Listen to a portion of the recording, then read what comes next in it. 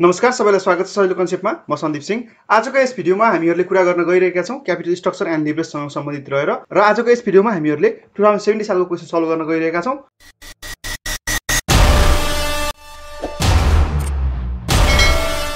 र क्वेसन यस प्रकार दिएको छ एभरेज ब्याट्री म्यानुफ्याक्चरिङ रहेछ र जसको degree of operating leverage degree of operating leverage दिएको छ टु टाइम्स दिएको छ।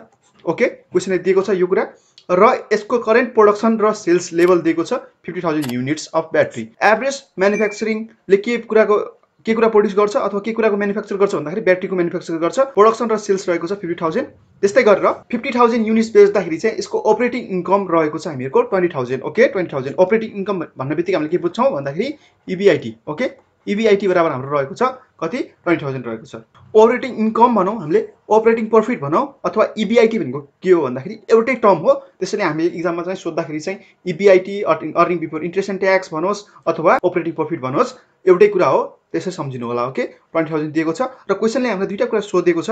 सुरुमा सोध्छ हामीहरूलाई if sale are expected to increase by twenty percent यदि सेल्स बिस पर्सेन्टले के हुँदैछ इन्क्रिज हुने हो भनेपछि र आजको डेटमा हामीहरूको करेन्ट प्रोडक्सन सेल्स कति छ भन्दाखेरि सेल्स कति छ भन्दाखेरि करेन्ट प्रोडक्सन एन्ड सेल्स कति छ भन्दाखेरि फिफ्टी थाउजन्ड युनिट रहेको केसमा चाहिँ हामीहरूको अपरेटिङ प्रफिटमा कस्तो खालको चेन्जेस आउँछ अथवा कति हुन्छ भनेर सोध्छ ओके अर्थात् ट्वेन्टी पर्सेन्ट हाम्रो सेल्स इन्क्रिज हुँदाखेरि हाम्रो अपरेटिङ प्रफिटमा कस्तो खालको इफेक्ट देखिन्छ भन्ने कुरा सोधेको छ र त्यस्तै गरेर बिनामन सोध्छ हामीहरूलाई at the company new sales position of sixty thousand unit okay र हाम्रो कम्पनीको अब बिमा के सोच्छ सिक्स थाउजन्ड युनिट छ भनेपछि यो अवस्थामा कम्पनीको नयाँ डिओएल अर्थात् डिग्री अफ अपरेटिङ लिभरेज कति हुन्छ?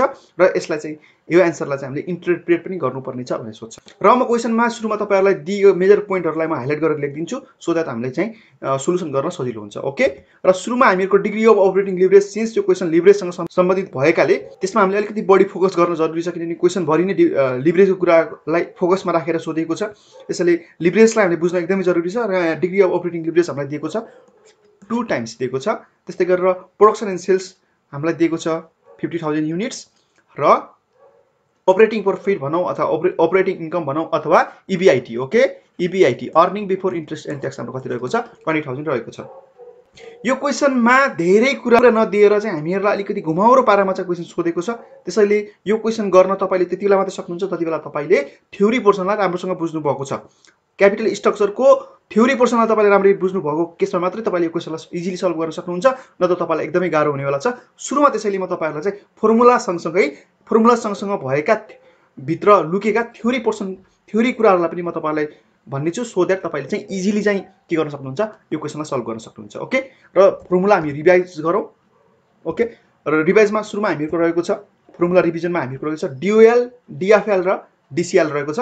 डियुएल भन्ने बित्तिकै डिग्री अफ अपरेटिङ लिभरेज त्यस्तै गरेर डिएफएल भन्ने बित्तिकै डिग्री अफ फाइनेन्सिङ लिभरेज र त्यस्तै गरेर डिसिएल अथवा डिटिएल भन्छौँ भन्छौँ हामीहरूले त्यो भन्ने बित्तिकै डिग्री अफ कम्बाइन लिभरेज अथवा डिग्री अफ टोटल लिभरेजको फर्मुला हामीले देख्न सक्छौँ। सुरुमा कुरा गरौँ डिग्री अफ अपरेटिङ लिभरेजको डिग्री अफ अपरेटिङ लिभरेज भन्ने बित्तिकै हामीले के सम्झिन्छौँ? Contribution margin divided by EBIT अर्थात् earning before interest and tax र डिग्री अफ अपरेटिङ लिभरेजले के कुरामा हिट गर्छ भन्ने कुरा पनि जान्नु जरुरी छ ओके डिग्री अफ अपरेटिङ लिभरेजमा हामीले एन्सर निकाल्छौँ नि जुन एन्सर निकाल्छौँ नि त्यो एन्सरले एक्चुअलमा भन्न खोजिरहेको के छ? त्यो हामीले जबसम्म बुझ्दैनौँ तबसम्म डियुएल निकाल्नु हामीले फर्मुला त बुझ्यौँ।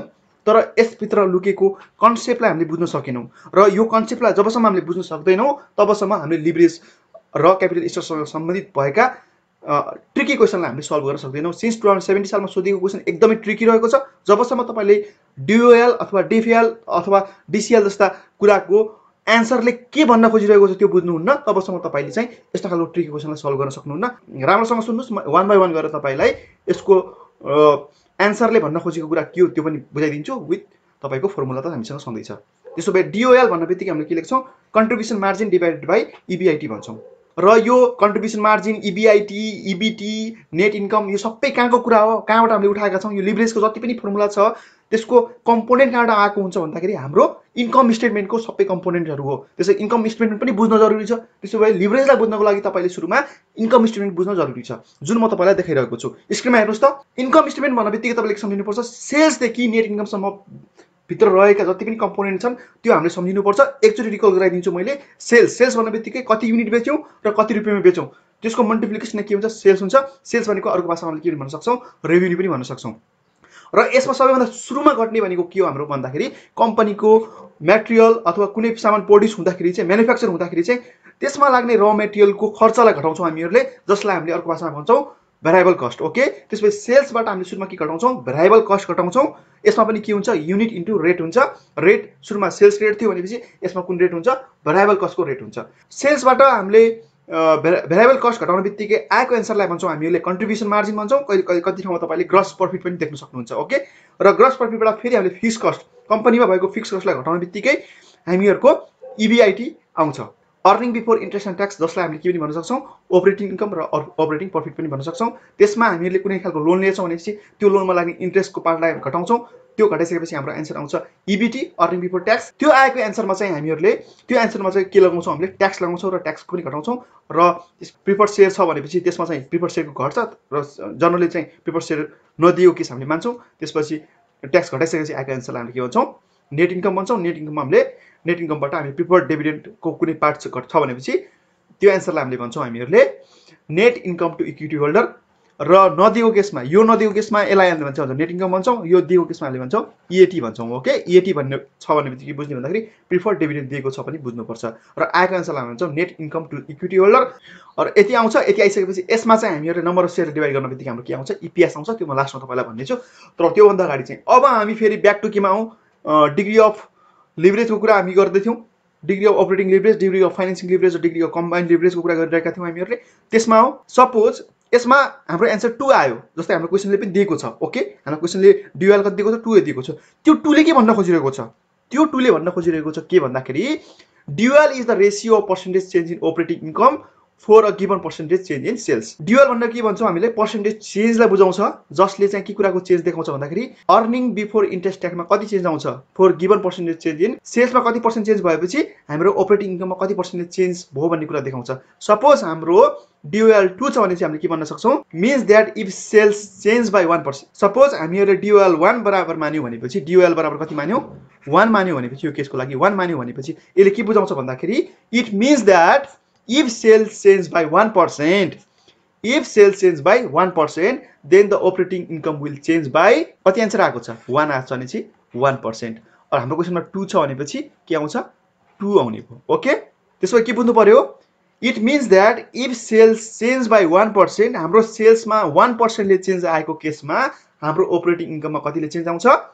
डिएल हाम्रो कतिको छ? क्वेसनले दिएको छ टू छ भने चाहिँ टू पर्सेन्टले चेन्ज आउँछ. ओके त्यस्तै गरेर डिएफएललाई मैले थ्री माने थ्री माने। त्यसो भए के लेख्ने त? DFL is the ratio of percentage change in EBT or EPS अब क्वेसनको नेचर हेरेर for a given percentage change in operating income बुझिन्छ? ओके थ्योरी पर्सन हो। It means that if operating income change by one percent यदि हामीहरूले operating इन्कमलाई one पर्सेन्टले change गर्यो भने चाहिँ हाम्रो अर्निङ इपिएस कतिले चेन्ज हुन्छ? थ्री पर्सेन्टले चेन्ज हुन्छ। यहाँ मैले अलिक भर्खर देखाएको छु नि थ्री पर्सेन्टले चेन्ज हुन्छ। र फाइनली हामीहरूको छ डिसिएल डिसिएललाई मैले के पनि भनेको छु भन्दाखेरि डिसिएल भन्ने बित्तिकै डिओएल इन्टु डिएफएल भनेपछि यो टू पर्सेन्ट यो थ्री पर्सेन्ट हाम्रो इक्जाम्पलमा भएपछि यो सिक्स पर्सेन्ट हुनुपर्छ। र यसको मिनिङ के हो? Degree of combine leverage is a ratio percentage change in EBIT or EPS for the given percentage change in sales अर्थात् सेल्समा कुनै पर्सेन्ट एक पर्सेन्टेज चेन्ज आउने बित्तिकै हाम्रो अर्निङमा कति पर्सेन्ट चेन्ज आउँछ त्यो कुरालाई देखाउँछौँ। त्यसैले सेल्समा कति पर्सेन्ट चेन्ज आउँछ भन्ने कुराको इफेक्ट कहाँसम्म जाँदो रहेछ? अर्निङसम्म जाँदो रहेछ भनेपछि डिसिएलले पुरै कभर गर्छ। भनेपछि डिओएलले कभर गर्ने टपिक रहेको छ यहाँदेखि यहाँसम्म। त्यस्तै गरेर डिओएलले ओके? डिओएलले यहाँ यहाँसम्म। डिएफएलले यहाँदेखि यहाँसम्म। डिएफएलले त्यस्तै गरेर डिसिएलले होल कभर गर्छ। यो कन्सेप्ट जबसम्म तपाईँले बुझ्नु न तबसम्म तपाईँले सोल्युसन गर्न सक्नुहुन्न। अर्थात् यदि सेल्समा वान पर्सेन्टले चेन्ज हुने बित्तिकै हाम्रो अर्निङमा कति पर्सेन्ट चेन्ज हुँदो रहेछ? सिक्स पर्सेन्टले चेन्ज हुँदो रहेछ। बुझिन्छ? सेल्स वान पर्सेन्टले बढ्यो भनेपछि हाम्रो अर्निङ कतिले पर्सेन्टले बढ्दो रहेछ? सिक्स पर्सेन्टले बढ्दो रहेछ।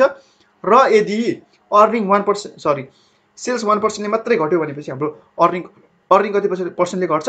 सिक्स पर्सेन्टले घट्छ। यो पनि छ रिक्स पनि छ है। ओके त्यसैले त लिभरेज भनेको नि। एउटा यो वान बढ्दाखेरि यहाँ सिक्स भन्नु त एकले कतिलाई हिट गरिरहेको छ? सिक्सलाई हिट गरिरहेको छ। यहाँको एकले यहाँको कतिलाई कतिलाई हिट गरिरहेको छ इफेक्ट कतिले कतिको देखाइरहेको छ सिक्सले गरिरहेको छ यो कुरालाई कुनै कुरालाई एक्सप्लेट गर्नु भनेकै के हो? लिभरेज हो। र यहाँ वान पर्सेन्टले इन्कममा कति पर्सेन्ट कति पर्सेन्टलाई हिट गरिरहेको छ? सिक्स पर्सेन्टलाई हिट गरिरहेको छ। यही कुराको थ्रुबाट नै यो टपिकको नाम रहेको छ लिभरेज अबमा सोल्युसनमा ग- हामी न्युमेरिकल पर्सन गर्दाखेरि अझ बढी क्लियर हुन्छ। न्युमेरिकलमा जानुभन्दा अगाडि चाहिँ तपाईँलाई थ्योरी पर्सनको लास्ट कुरा मैले भनिदिन्छु। Earning per share earning per share भन्ने बित्तिकै के हुन्छ? हाम्रो नेट इन्कम आयो नि यहाँबाट नेट इन्कम आयो नि। नेट इन्कमलाई नम्बर अफ सेयर कमन स्टकले डिभाइड गरिदिने हो भनेपछि number of common stock outstanding divide गर्ने भनेपछि हाम्रो के हुन्छ? अर्निङ पर सेयर आउँछ। यो पनि सम्झिनु होला। यति कुरा यति तिनवटा कुरामा चाहिँ डिओएल तपाईँले अलिकति बेसी सम्झिनुपर्ने छ। किनभने यो क्वेसनमा हामीलाई डिओएलसँग सम्बन्धित भएर क्वेसन सोधेको छ। फर्मुला रहेको छ कन्ट्रिब्युसन मार्जिन बाई इबिआइटी र डिओएल भन्ने बित्तिकै हामीले के भन्यो? पर्सेन्टेज चेन्ज इन केमा अपरेटिङमा पर्सेन्टेज चेन्ज हुन्छ कति बेला भन्दाखेरि हाम्रो पर्सेन्ट हाम्रो सेल्समा चेन्ज पर्सेन्ट चेन्ज हुने बित्तिकै केही पर्सेन्ट चेन्ज हुने बित्तिकै हाम्रो केमा चेन्ज हुन्छ अर्न अर्न अपरेटिङ प्रफिटमा चेन्ज हुन्छ भन्ने कुरालाई जनाएको छ। र यसको अर्थ के हो भने डिओएलबाट हाम्रो टु आएको थियो। यसको अर्थ के हो भन्दाखेरि हाम्रो सेल्स वान पर्सेन्ट चेन्ज हुने बित्तिकै हाम्रो अर्निङ अपरेटिङ इन्कम कतिले चेन्ज हुन्छ? टु पर्सेन्ट चेन्ज हुन्छ भन्ने कुरा जनाएको छ। यति बुझिन्छ? अब हामी सोल्युसनतिर जाउँ। ओके सुरुमा सोध्छ यदि एक्सपेक्टेड अब सेल्स हाम्रो कति पर्सेन्टले बढ्छ भनिरहेको छ? सेल्स कति पर्सेन्टले बढी बढ्छ भनिरहेको छ? ट्वेन्टी पर्सेन्टले बढ्छ भन्छ। हो? कतिबाट? फिफ्टी थाउजन्ड युनिटबाट हाम्रो अपरेटिङ प्रफिट कति हुन्छ अथवा इबिआइटी कति हुन्छ भनेर सोध्छ। बुझिन्छ? र क्वेसनले के दिएछ हामीहरूलाई क्वेसनले दिएको छ डिओएल दिएको छ। डिओएल भनेको के हो? यदि सेल्समा एक पर्सेन्ट इन्क्रिज हुन्छ भनेपछि हाम्रो इबिआइटीमा कति पर्सेन्ट इन्क्रिज हुन्छ? दुई पर्सेन्ट बुझ्ने है? डिओएलको कन्सेप्ट बुझ्ने। त्यस्तै गरेर सेल्स हाम्रो फिफ्टी थाउजन्ड युनिट छ र अपरेटिङ प्रफिट हाम्रो ट्वेन्टी थाउजन्ड दिएको छ क्वेसनले यहाँसम्म। अब हामीलाई के थाहा छ भन्दाखेरि ड्युएल टु टुले के कुराको इन्डिकेसन गर्छ भन्दाखेरि यदि सेल्समा एक पर्सेन्टले इन्क्रिज हुने बित्तिकै सेल्समा अघि भर्खर पढायो होइन हामीले सेल्समा एक पर्सेन्ट इन्क्रिज हुने बित्तिकै इबिआइटीमा कति पर्सेन्टले इन्क्रिज हुन्छ? टु पर्सेन्टले डिओ डि टु भयो। अब हाम्रो कति पर्सेन्टले सेल्स कति पर्सेन्टले इन्क्रिज भएको छ? सेल्स ट्वेन्टी पर्सेन्टले इन्क्रिज हुने बित्तिकै इबिआइटी हाम्रो कति पर्सेन्ट इन्क्रिज हुन्छ? ठ्याक्कै डबल ट्वेन्टीको डबल कति हुन्छ? फोर्टी पर्सेन्टले इन्क्रिज हुन्छ। त्यही कुरा लेखेको छु मैले। If DOL is two times and operating income is twenty thousand okay then 20% increase in sales result into two times of 20% that is 40% increase in operating income किनभने डियुएल भनेको डबल छ। वान पर्सेन्ट सेल्स इन्क्रिज हुने बित्तिकै इबिआइटीमा two times हुन्छ भनेपछि ट्वेन्टीको double कति हुन्छ? Forty percent increase हुन्छ। त्यसपछि हाम्रो नेट हाम्रो new operating income is given by formula छ। न्यू बराबर के हुन्छ? न्यूमा ओल्ड पर्सेन्टेज हामीले जोडिदियो भने चाहिँ के आउँछ न्यू आउँछ। त्यसपछि old EBIT one plus percentage change in EBIT गरौँ। गर्दाखेरि न्यू आइबी न्यू इबिआइटी बराबर हाम्रो ओल्ड इबिआइटी हाम्रो ट्वेन्टी थाउजन्ड छ। कति पर्सेन्ट चेन्ज भएको छ? फोर्टी पर्सेन्ट चेन्ज भएको छ। वान प्लस फोर्टी भनेको जिरो पोइन्ट फोर हुन्छ। गर्दाखेरि हामीहरूको एन्सर आउँछ ट्वेन्टी एट थाउजन्ड अर्थात् हामीहरूको नयाँ earning before interest and tax कति रहनेछ? ट्वेन्टी एट थाउजन्ड आउनेछ। यदि हामीहरूको सेल्स ट्वेन्टी पर्सेन्टले इन्क्रिज हुने हो भनेपछि। बुझिन्छ? त्यसै गरेर अगाडि बढौँ क्वेसनमा। यदि कम्पनीको नयाँ सेल्स साठी थाउ सिक्सटी थाउजन्ड युनिट रहे रहने भनेपछि कम्पनीको नयाँ डिओएल कति हुन्छ भनेर सोध्छ। डिओएल भनेको के हो? भनिदिउँ त डिओएल भन्ने बित्तिकै के हो हाम्रो? कन्ट्रिब्युसन मार्जिन बाई के हो? इबिआइटी हो कि होइन? कन्ट्रिब्युसन मार्जिन बाई इबिआइटी र कन्ट्रिब्युसन मार्जिन बाई इबिआइटी हो भनेपछि डिओएल टु टाइम्स हुँदाखेरि हामीलाई के थाहा छ? कन्ट्रिब्युसन मार्जिन पनि थाहा थियो इबिआइटी पनि थाहा थियो ओके भनेपछि हामीहरूले कन्ट्रिब्युसन मार्जिन निकाल्न सक्छौँ। कन्ट्रिब्युसन मार्जिन चाहिँ चेन्ज हुनेवाला छैन। कन्ट्रिब्युसन मार्जिन चेन्ज हुनेवाला छ?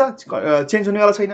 भनेपछि अब कन्ट्रिब्युसन मार्जिन निकालौँ। कन्ट्रिब्युसन मार्जिन निकालिसकेपछि हामी अगाडि बढ्न सक्छौँ। त्यसो भएपछि सुरुमा त दिएको कुरा लेखिदिन्छु। डिओएल टु टाइम्स थियो। अब सेल्स हाम्रो फिफ्टी थाउजन्ड थियो र अपरेटिङ प्रफिट कति थियो? ट्वेन्टी थाउजन्ड थियो। भनेपछि डिओएल निकालौँ। ओके डिओएल टु टाइम्स थियो। डिओएलको फर्मुला के हुन्छ? डिओएल बराबर कन्ट्रिब्युसन मार्जिन बाई इबिआइटी बराबर टू थियो। ओके? र पुरानो इबिआइटी र पुरानो कन्ट्रिब्युसन मार्जिन भ्यालु पुट गरिदिउँ। कन्ट्रिब्युसन मार्जिन अपरेटिङ प्रफिट हामीलाई दिएकै छ यो पनि दिएको छ कन्ट्रिब्युसन मार्जिन हाम्रो कति हुन्छ? फोर्टी थाउजन्ड हुन्छ। र के भन्छ भन्दाखेरि हाम्रो सेल्स कति पर्सेन्टले इन्क्रिज भएको छ? ट्वेन्टी पर्सेन्टले इन्क्रिज भएको छ। क्वेसन नम्बर एले ट्वेन्टी पर्सेन्ट इन्क्रिज हुन्छ भन्छ। सेल्स त्यही त्यसकै बेसिसमा यो सिक्सटी थाउजन्ड आएको यहाँ नझुकिनु होला। र सबै कुरा ट्वेन्टी पर्सेन्ट इन्क्रिज हुँदैछ भनेपछि हाम्रो कन्ट्रिब्युसन मार्जिन पनि त ट्वेन्टी पर्सेन्ट इन्क्रिज हुन्छ। हाम्रो सेल्स ट्वेन्टी पर्सेन्ट इन्क्रिज भयो। हाम्रो अर्निङ हाम्रो इबिआइटी चाहिँ डिओएलले गर्दाखेरि चाहिँ फरक पऱ्यो हाम्रो एन्सरमा होइन?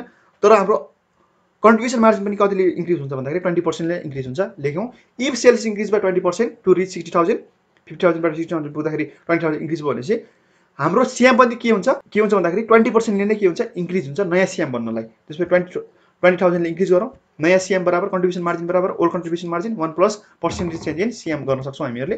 र फोर्टी थाउजन्ड र ट्वेन्टी पर्सेन्ट इन्क्रिज गर्दाखेरि हाम्रो कति हुन्छ? फोर्टी एट थाउजन्ड आयो। ओके? फोर्टी थाउजन्ड आयो। हामीलाई नयाँ इबिआइटी पनि थाहा छ क्वेसन नम्बर वानबाट आइसकेको छ एबाट आइसकेको छ। र नयाँ सिएम पनि थाहा भयो भने हामीले डिएल निकाल्न सक्छौँ डिग्री अफ अपरेटिङ लिभरेज निकाल्न सक्छौँ। अभियसली सक्छौँ। नयाँ डिग्री अफ अपरेटिङ लिभरेज बराबर हुन्छ हामीहरूको new contribution margin by new BIT र भ्यालु पुट गरिदिउँ। नयाँ कन्ट्रिब्युसन मार्जिन हाम्रो भर्खरै निकालेका छौँ फोर्टी एट थाउजन्ड त्यसै गरेर न्यू इबिआइटी एबाट आइसकेको छ ट्वेन्टी एट थाउजन्ड ओके र आउँदाखेरि हाम्रो one point seven one times आयो। र हामीले ल्याङ्ग्वेजमा लेखिदिउँ। Hence the new contribution margin after sales increase to six thousand unit is भनेर वान पोइन्ट सेभेन टाइम्स भनेर हामीले यसरी लेख्न सक्छौँ। यसमा कुनै खालको कन्फ्युजन छ भने चाहिँ मलाई कमेन्ट गर्न सक्नुहुन्छ। आशा छ तपाईँलाई यो भिडियो एकदमै राम्रो लागेको होला। जति साथीहरूले अहिलेसम्म भिडियोलाई लाइक र सेयर गर्नुभएको छैन प्लिज भिडियोलाई लाइक र सेयर गरिदिनुहोस्। र हाम्रो भिडियोलाई सब्सक्राइब पनि गरिदिनुहोस् सो द्याट तपाईँले पाउनुहुन्छ लेटेस्ट भिडियोको नोटिफिकेसन र अहिलेसम्म भिडियोलाई भिडियोलाई हेरेर साथ दिनुभयो त्यसको लागि धेरै धेरै धन्यवाद। हाम्रो अर्को भिडियोमा हुने नै छ त्यति राम्रोसँग तयारी गर्नुहोस्। Thank you